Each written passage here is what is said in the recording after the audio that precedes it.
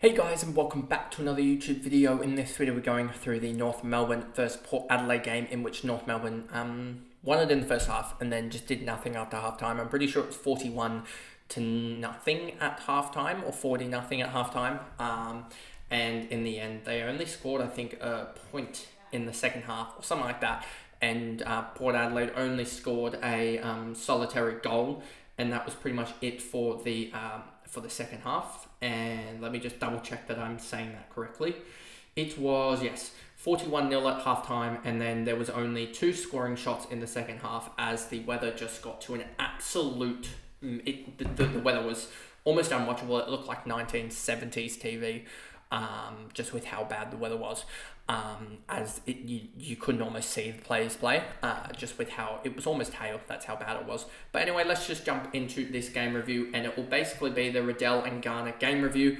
Um, and basically, I'm just trying to figure out how, in which way I can almost get maybe both of them, maybe get um, one of them and Goering as well, and then work that out, etc. As they were absolutely huge. 129, 125.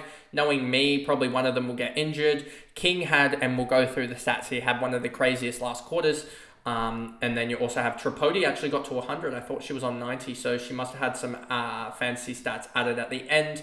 Um, and yeah, she had a really good game in general, just tackling everything that she saw.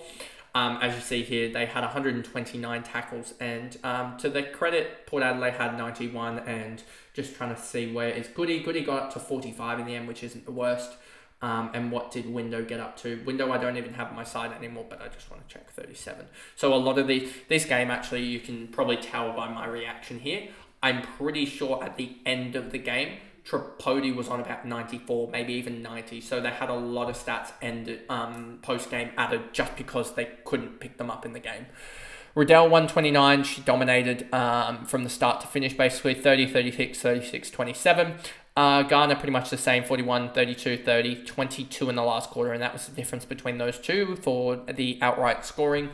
Um, and then you see King here. I'm pretty sure if you look at the stats, King had uh, nine tackles in the last quarter alone eight disposals, four uh, four of each, and nine tackles was her output for the last quarter. That's 36. Yeah, that is the full uh, 56 that she scored. You have Riddell on 27, Smith on 25, and Garner 22 in the last quarter as well as Goody on 22 in the last quarter. She saved herself some points there, which was good to see. Um, especially because I'm pretty sure her break even, if I go stats by uh, stats by Jaden, I'm pretty sure her break even was in and around that 45. So she'll make a little bit of cash.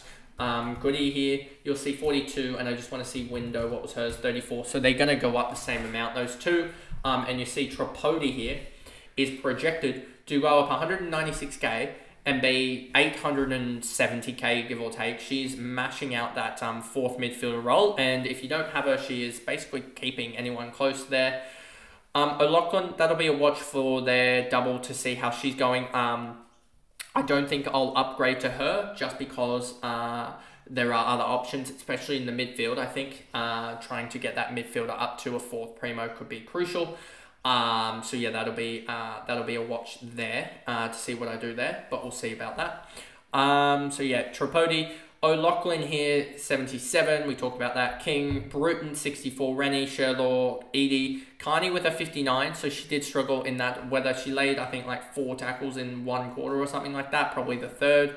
Um, she had a, yeah, so she caught up a little bit, but 59 from her. She's still going all right, but I don't know if she's necessarily if you really want those rookies in the um, back line, uh, if you really want those primos in the back line compared to in the um, in the midfield when you can just absolutely smash out big scores. Um, Gatt, Smith, Birch, Randall, Bresnahan, uh, Wright, Craven, O'Shea, Wall, and Ferguson. Um, then you have Dowrick, Maloney, Schultz. Um, so yeah, Dowrick 84, Maloney 66, uh, Schultz 56, Pope uh, 55. Dowrick 84, that was uh, pretty much the only thing of note, to be honest, from Port Adelaide, as they all did um, in the 40s and 50s. You'll see here uh, was that four girls on the uh, 45, another on 46. Um, and then you also, yeah, so a lot of them were actually about 38, 39 post, um, post game, but they all had like something added. Um, so they all got up into the mid 40s. So pretty much everyone had about five or 10 points added post game.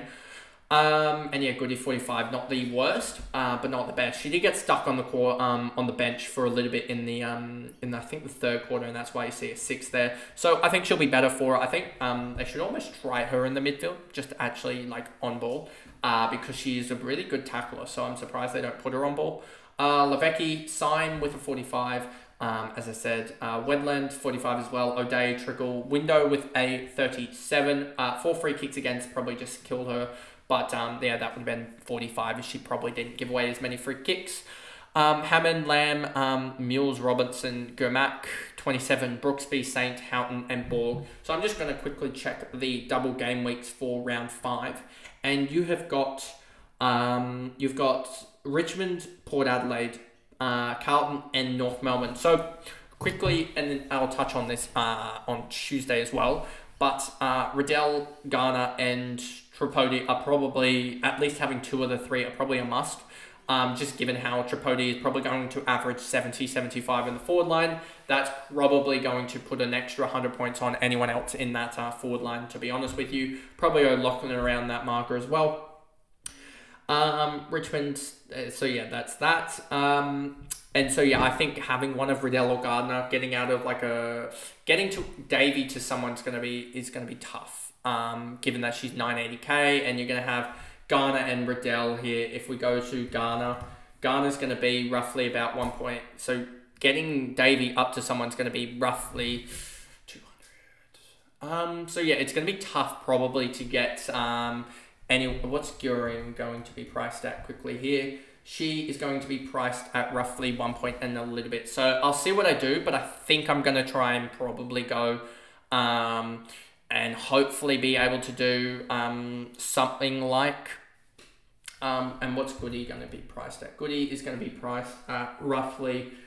Um, she's going to be priced at probably roughly about the. Um, just looking here probably 665 so i'm going to need someone around that 600 marker give or take and a little bit more to um to get um upwards. I don't know what i'm going to do but yeah I, hopefully i'll be able to do something. Davey just getting injured really does suck on that front. Um there maybe i have to play goody in her double game week or something which isn't something i really want to do uh, but we'll have to just wait and see on that front but anyway that is the video there. If you did enjoy it, remember to like and subscribe, turn the notification bell on so you know when I upload. And if you want to see any more of the AFLW content, fancy related, tipping related, there'll be a play playlist on screen at the moment that you can click through and go to all my other videos on it. But anyway, I'll see you guys in the next video.